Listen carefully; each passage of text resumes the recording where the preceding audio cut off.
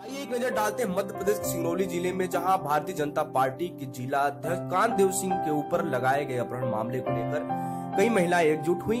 वहीं एसपी एवं कलेक्टर के नाम ज्ञापन सौंपा। जानकारी के लिए आपको बता दें कि भारतीय जनता पार्टी के जिला अध्यक्ष कांतदेव सिंह, वहीं भाजयुमो नेता पुनीत शुक्ला पर नाबालिग लड़की, जिसका निवास स्थान जैन बताया जा रहा है, अपहरण का आरोप